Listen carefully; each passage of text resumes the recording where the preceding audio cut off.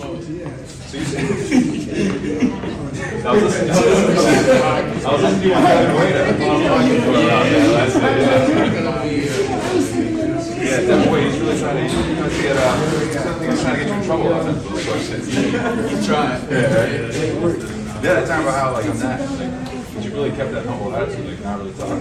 Do you think uh, that's kept you from like some like really really big fights? Or you like, like, oh, I'm just gonna keep going this way, going my way. And then maybe I should start calling people out now, like you're on your good. I mean, I've been calling everybody out, I'm, but I'm gonna keep doing it my way. They gonna they gonna hate to see me regardless.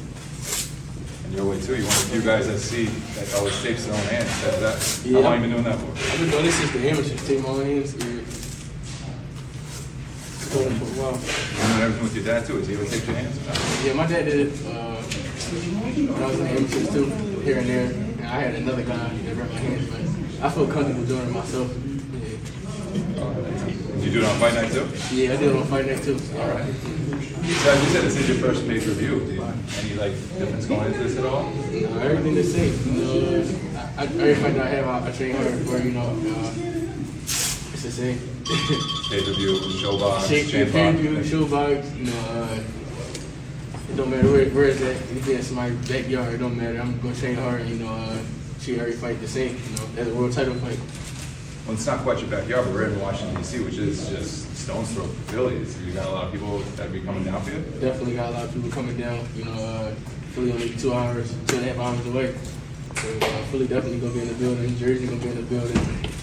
Delaware, you know, the whole tri-state gonna be out there. Then uh, your opponent Karen, have you been able to get any like footage on him at all? Or have you Nah, seen no, I didn't see anything, but uh, my, my team, my brother, and been watching them, and we, we got a game plan for him. All right. Just know I've been watching a lot of Mike Tyson.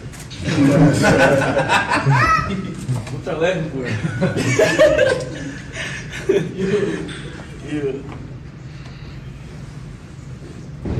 Which fights have you been watching?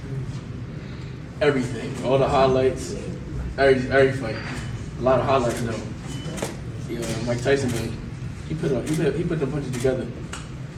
Triple, doubles, same hand, a lot of knockouts. So. You didn't see a lot of late rounds. Yeah, that's what I'm saying. He, he don't he don't see too many late rounds. So I've been watching watching a lot of Mike Tyson highlights and stuff like that.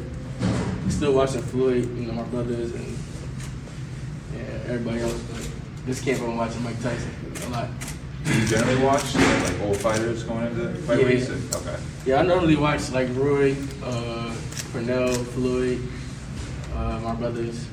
Um, yeah, that's about it. You know, I, I started watching James Toney a little bit too.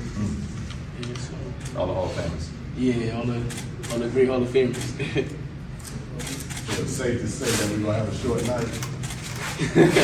it's safe to say we're gonna have a short night. What would you say was your um, favorite fighter growing up? my favorite fighter? Uh, everybody knew my favorite fighter is, uh, coming up, Roy.